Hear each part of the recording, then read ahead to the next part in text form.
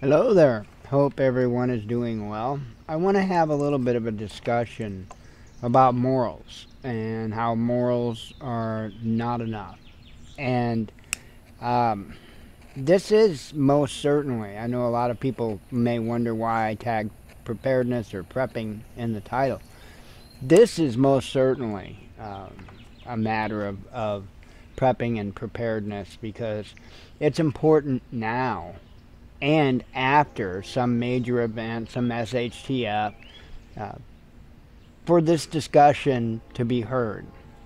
So, what do I mean by uh, morals are not enough? They're not. I've known a lot of good people throughout my lifetime that have a lot of good morals, and in fact, it's a prerequisite if you want to be a friend of mine. I'll tell you that right now. Um, that's the one thing I, I have walked away from more quote unquote friends uh, than most people could ever realize because they lacked true morals. And I've walked away from even more people for something that they lack that's just as important and actually more important than the morals, and that's integrity. Uh, there's a host of people here uh, locally that I, whether I went to school with them or somehow met up with them some other way. There's a host of people that, uh, sorry, trying to get my, my cigarette lit. And over the course of time, parted ways. Why? Because even though they had the morals to get their foot in the door with me, they didn't have the integrity. What do I mean? Well, because see, oftentimes people's morals are limited and restricted.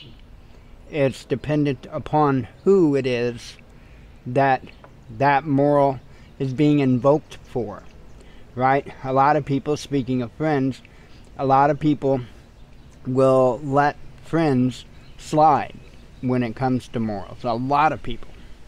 And that's not something that I can do. That's just something I can't do. I never have been able to do that. I'm the kind of person that I expect people to be true from one end of the spectrum to another. You know, don't change, don't flip things up just because of who it is. That that to me a lack of integrity is disgusting and it's kind of humorous because especially here locally i've always kind of been i'm just going to say it i've kind of been looked at as a scumbag to be honest right? I mean it is what it is.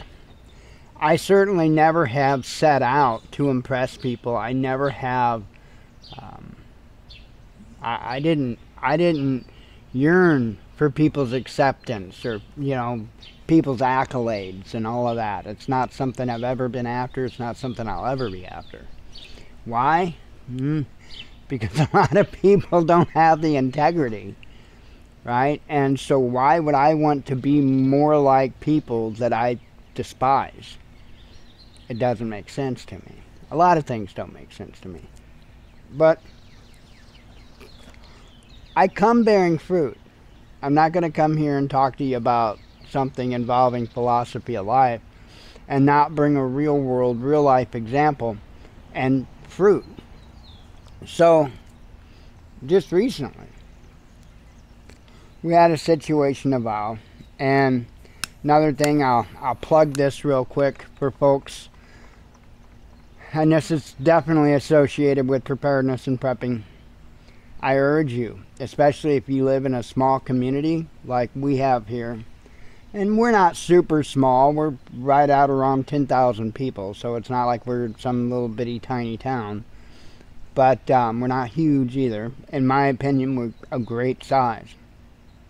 And uh, one of the best ways to get engaged with that community is through social media. And uh, years ago, three years ago, roughly, I started a Facebook group. I was raised on the mindset if you see a need, fill it. And there was a need definite need in this town uh, for a Facebook group that didn't cater to one political party or the other, and uh, just somebody that that could run and operate the group that believed in, in free speech, in actual free speech. The uh, the bright dog here is uh, chasing around yellow jackets. I've got a bunch of them buzzing around the yard for some reason. They're gonna learn her. They're gonna learn her. so if you hear a bunch of yiping going on, you know what happened. So anyway, back to uh, back to the groups. So if you don't have a local group uh, I highly recommend you start one. If you do have a local group where people are allowed to speak freely and openly, then I would most certainly start just planting preparedness seeds. Any, any not going out of your way. Don't don't go looking like the crazy person like me. Um, but just plant seeds here and there on preparedness. Um, otherwise, start a group. You see a need, fill it. So three years ago, I did that very thing. And it has proven to have turned out well. I don't censor in there. In three years' time, there is only two posts, two posts that I ever gotten rid of. Other than duct cleaning, we get a ton of air duct cleaning posts or, you know, furnace duct cleaning, whatever. And those actually, we have a rule against it in our group because uh, from from what I've seen uh, from other people's interactions, those are a lot of fly-by-night businesses, and there's a lot of people that get taken essentially. So we just don't allow them. We don't allow the duck cleaning post. But aside from that, in three years, there's only two posts that I've ever taken down. I've only banned two people, aside from people that post scams or you know duct cleaning. Um, but for what they did themselves. Two people. That's it in three years. Um, why? Integrity, you know? I mean, I said what I said, right? There's a lot of people that want to quote quote scripture out of the Bible. They want to take that little bitty verse, you know, um, by your fruits you shall know them. Well, I'm giving examples of that. Let your yes be yes and your no be no. I'm giving examples of that. There's a lot of people that talk a good game, but in reality, they're not living a good game. And that's where the integrity comes in. That's where the integrity is ultimately important. So, um, just craziness. We had a deal come up. Well, the ones, let me explain. Let me explain the two posts real quick. Um, one of the posts that I had gotten rid of was a young man that was in an argument with his family. And um, he said some rather uh, unsatisfactory things about his father. And um, I, I can't, I, I know the guy, I went to school with the guy, not the one that made the post, but the father. And the content of that uh, of that post, I, I don't doubt. It just it is what it is. I don't doubt the validity of the content of that post. However, there's a place and a time, and there's also um, there's a lot of wisdom in refraining. Okay, and this would have caused so many issues for everyone involved, right? And possibly even myself. Um, because I am the founder of the group, I am the admin of the group. So, could legal implications have came my way? Eh, legal threats could have been made, but that would have been about as far um, as it could have gone because it is what it is, right? Um, so no, I wasn't so much worried about that end of it, but I didn't want the, the BS from it either. So I didn't just nix the post. I nixed the post and then I, I messaged the young man who made the post. And I engaged him and I had a conversation with him. And I truly, firmly believe that at the end of that conversation, he was in a much better frame of mind. And hopefully had a little bit of a better idea of what direction he wanted to go. I didn't tell him what direction to go. It's not my job to do. I'm not. I'm not going to tell him what to do. Howdy, kid. You might want to watch those yellow jackets because they're, you know, they'll sneak on your nose and you'll be yipe yipe yipe all around the yard. So anyway, she's such an awesome girl. She is the best dog you could ever ask for. So, um, that was one of the posts. Uh, and the other post, let's see, the other post had to do with um, advertising in a nearby town, not here, but in a nearby town. Uh, there was going to be one of those drag queen.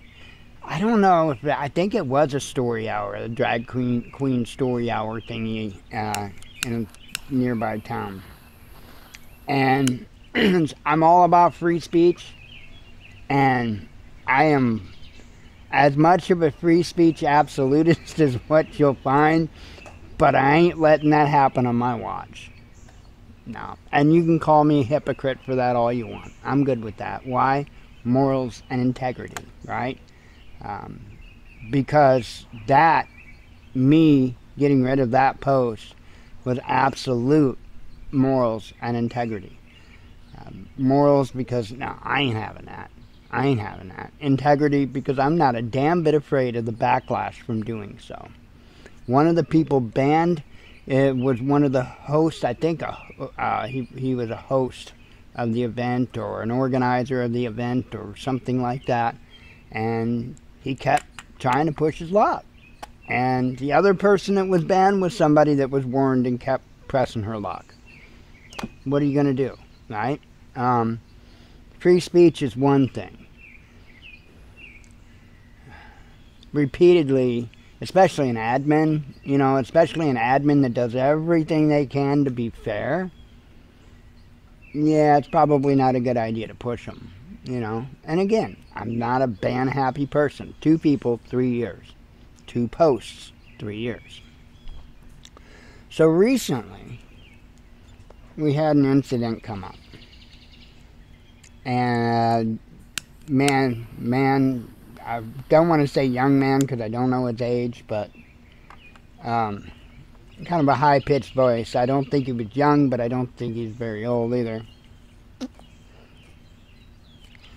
I got the impression he might have been very something else, but I'll leave that alone.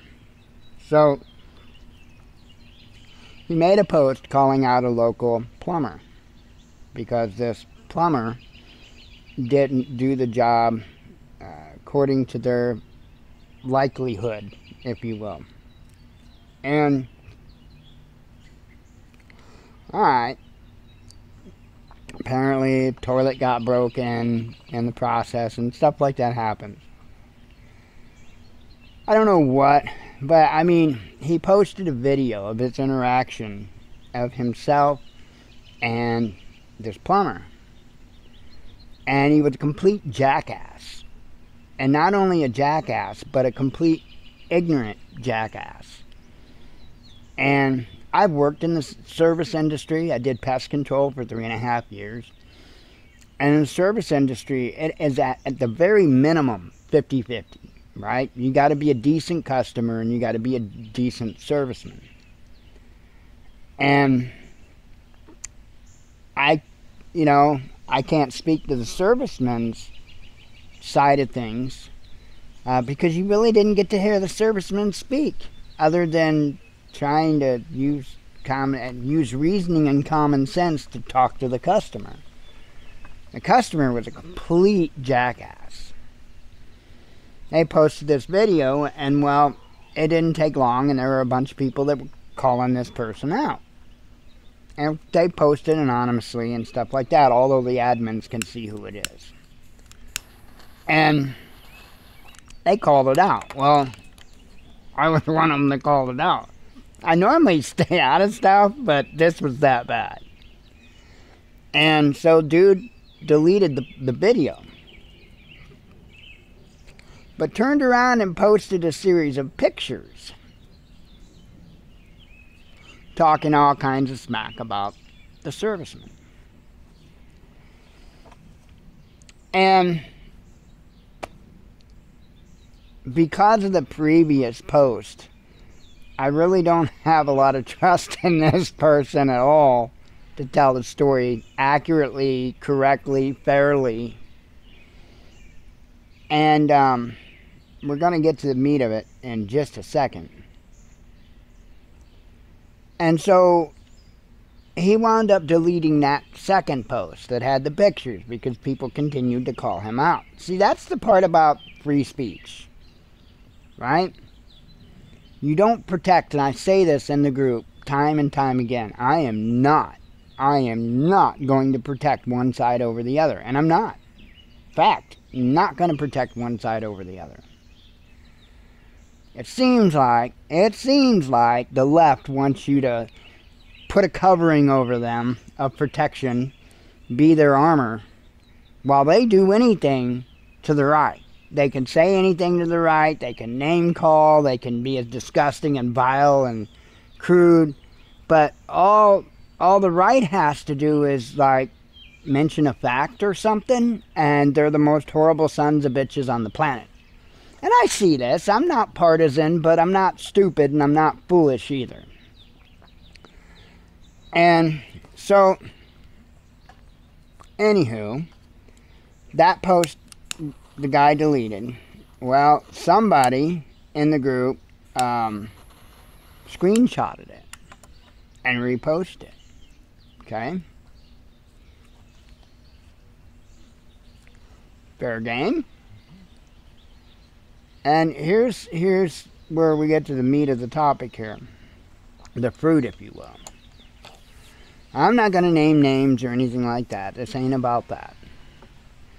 But I had somebody who I consider a friend, and I'm just, in order to not identify them, I'm them. I am going to leave it at that.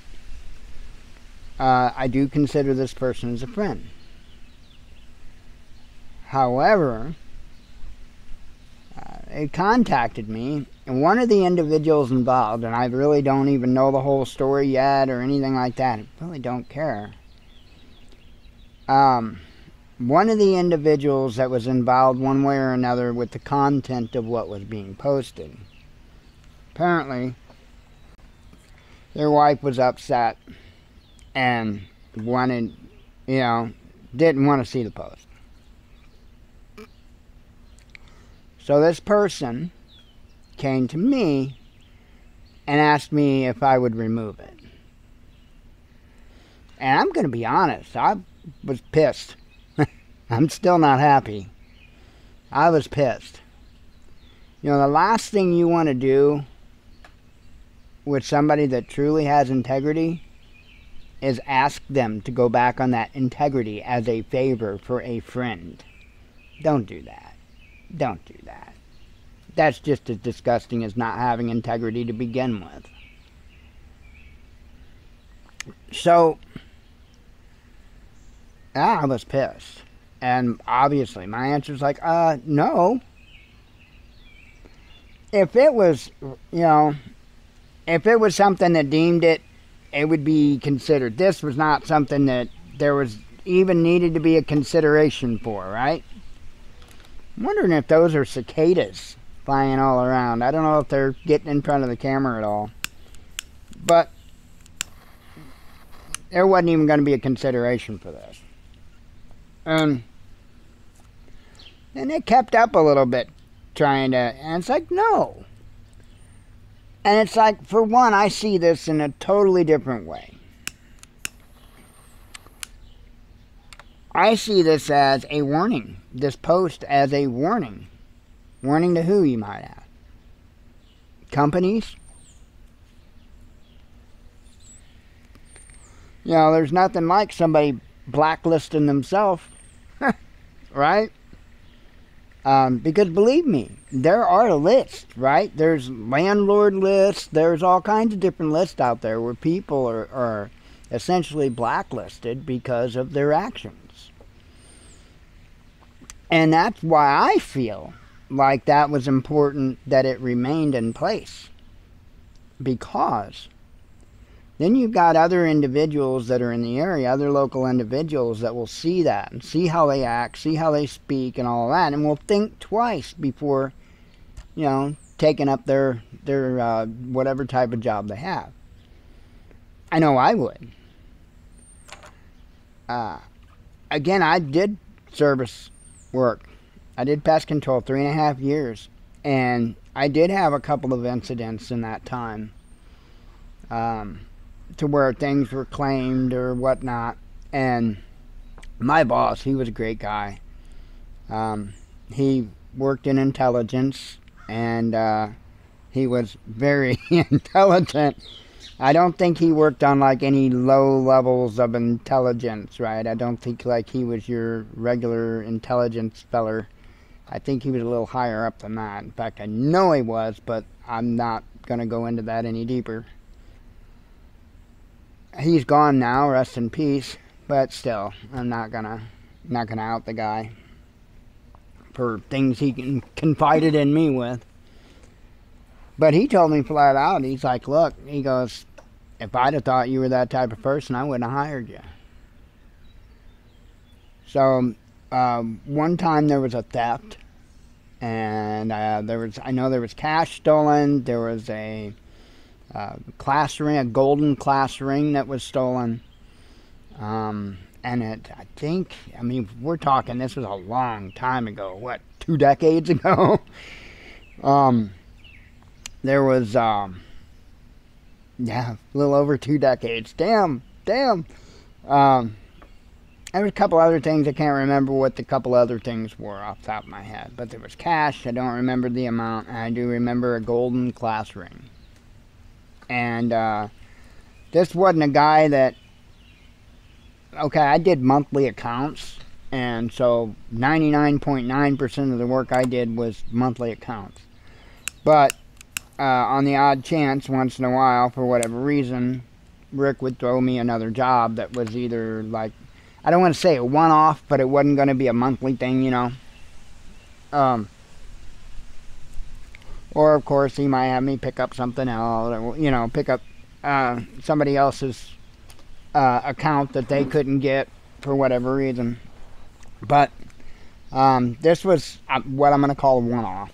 Um, it wasn't just one visit, it was going to be a few of them. But And uh, so I finished the job and I left and all of that. And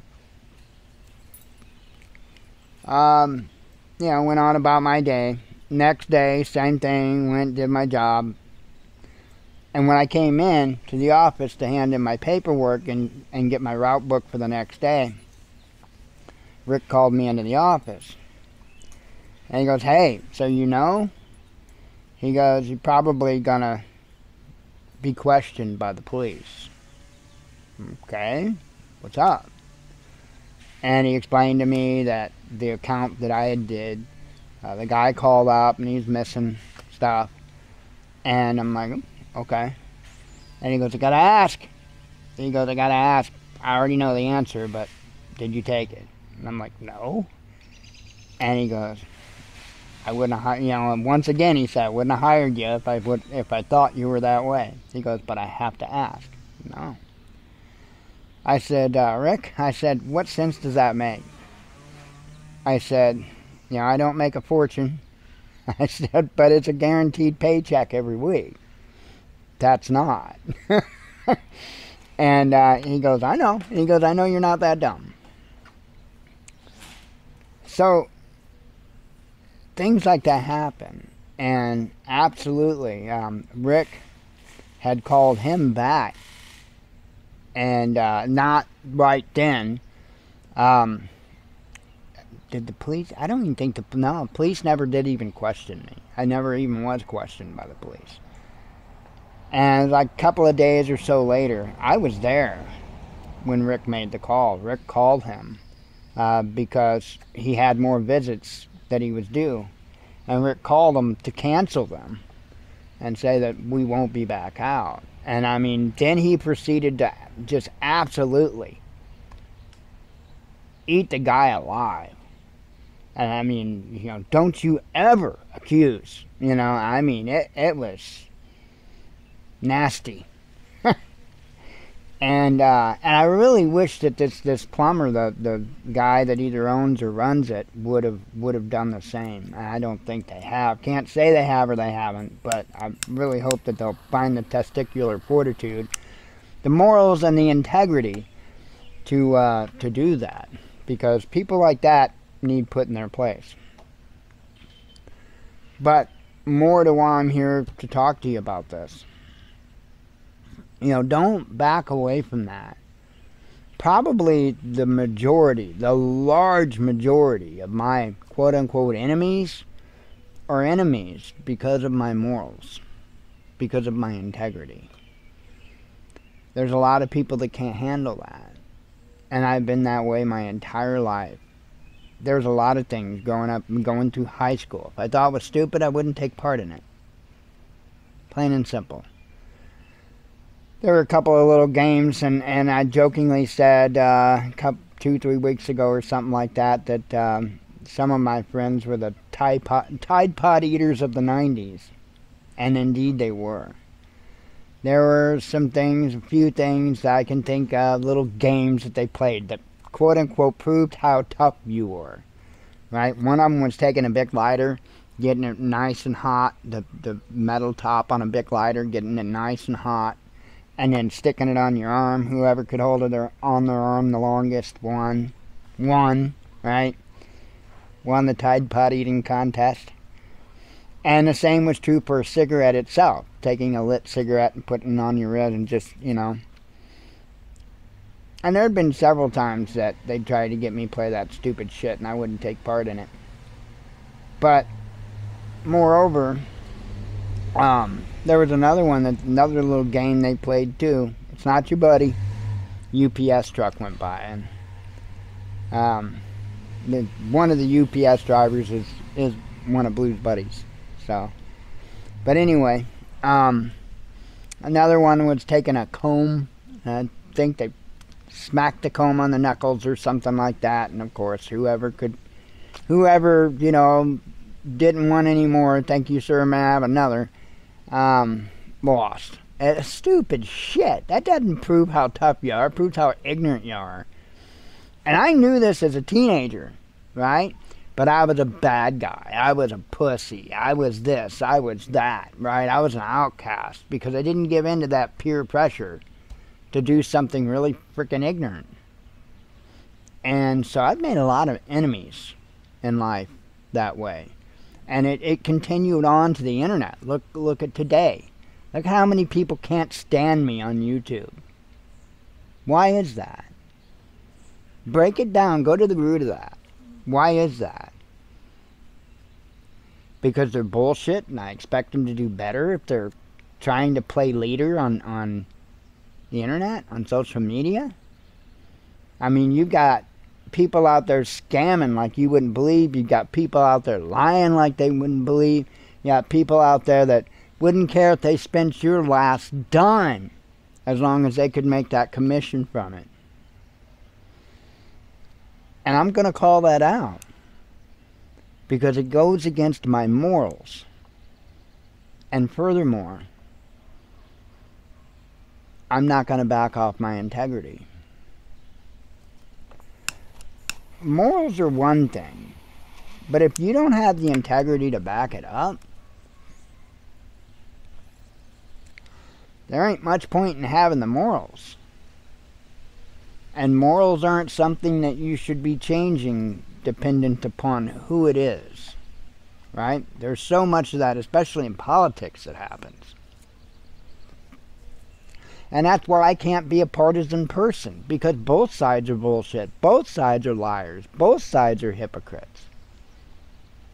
I, I, lesser two evils? No. No. No. The good book warned about that. No, I'm not going to make that choice. You give me a choice without evil, or at least without that level of evil, and it'll be considered. But until then, mm. no. No, thank you. I don't care if I stand on that hill alone. When I take my last breath, and when I go to see the Father, that is when I care about being judged. Man, by my peers around here, by the so called peers on YouTube. Which brings up another bit of scripture about serving one master.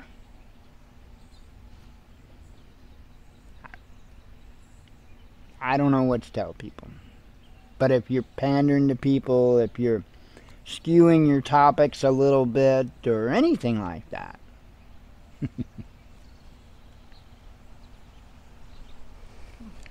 Good book also talks about being lukewarm.